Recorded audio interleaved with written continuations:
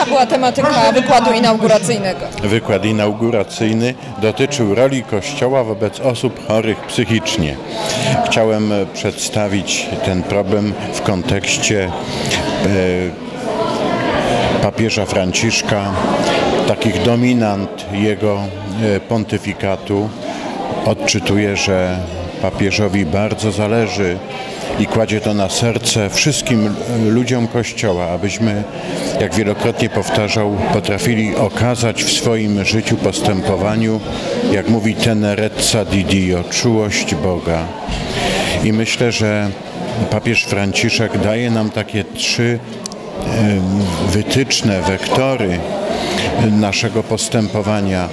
Odnaleźć wykluczonych, wspomóc ludzi uzależnionych, zniewolonych w szerokim tego słowa zna znaczeniu i prosi nas o intensyfikację troski o środowisko naturalne.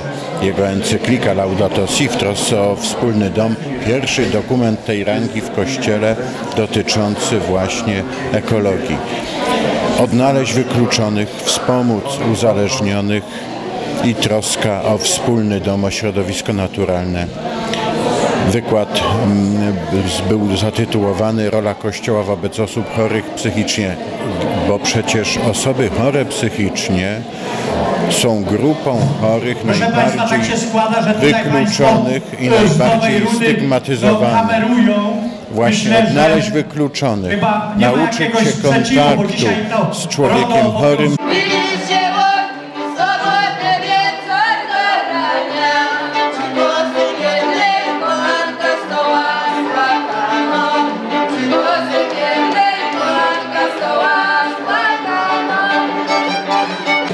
Inauguracyjny za nami. Co w tym roku czeka studentów Uniwersytetu Trzeciego Wieku? No jeżeli chodzi o ten rok, to jeszcze do końca miesiąca października mamy szereg jeszcze innych wykładów. Szuka Pan następców? Tak jest, szukam następców, no bo ja już jestem leciwy i po prostu no wypadałoby, żeby ktoś mnie zastąpił albo wspomnił, bo naprawdę to jest niełatwa praca, ciężka to jest praca, no bo się ma, no jest około 70 studentów, więc no ciężko te pogodzić niektóre obowiązki. Ale wszyscy goście podkreślają, że jest to praca bardzo potrzebna i bardzo wartościowa. Ja też tak uważam, ponieważ jeszcze jak byłem w starostwie, jak byłem, pracowałem jako wicestarosta czy członek zarządu, zawsze e, starałem się e, dbać o ludzi starszych. E, między innymi nadzorowałem te domy pomocy społecznej w powiecie, a także no, warsztaty terapii zajęciowej w tym e, też bywałem w szpitalu jako e, przedstawiciel Komisji Zdrowia e, tego szpitala, tej Rady Powiatu, a obecnie w chwili obecnej jestem jeszcze w Radzie Społecznej Szpitala Limanowskiego. Bardzo serdecznie Wam dziękuję za to, że jesteście.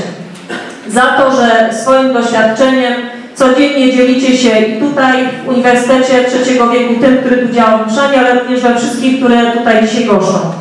Bo dzięki swojemu doświadczeniu życiowemu, dzięki ogromnej wiedzy, ogromnej empatii, e, robicie wspaniałe rzeczy. Mamy organizacji pozarządowych na terenie powiatu limanowskiego ponad 100. Także jak Państwo widzą, nie jest to mało w takim właśnie wymiarze. Będziemy się starać jak najbardziej pomagać, może w innej też formie, może na przyszłość. Wszystkiego co najlepsze. Zdrowia, siły i jak najwięcej wyjazdów, takich jakie były do Zamościa. Chcemy się, no wszystko udawało i tak dobrze wiedło, jak on się wiedzie. Jak już wspomnieli, startujemy, ale jak i startują tak samo i inni. Dobrze by było, jak powiedziała pani e, Filipiak, żeby ziemia mszańsko i niedźwiecko miała z Ogorzańskiego posła